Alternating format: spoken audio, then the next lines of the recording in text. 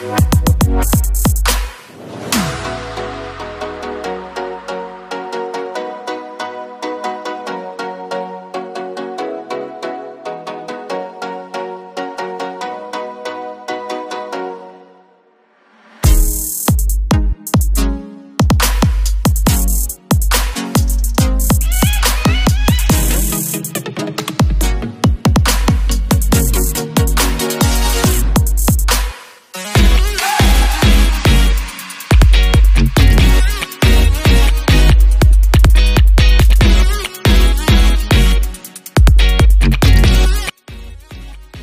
is the model of rotation of the earth.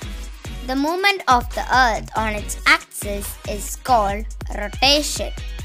The rotation of the earth causes days and night.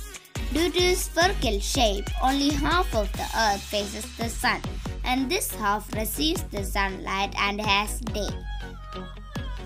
And the other half turned away from the sun in the darkness and has night.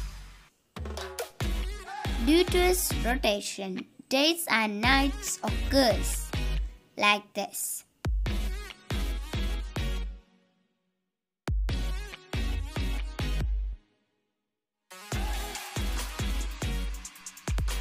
Thanks for watching. Bye bye.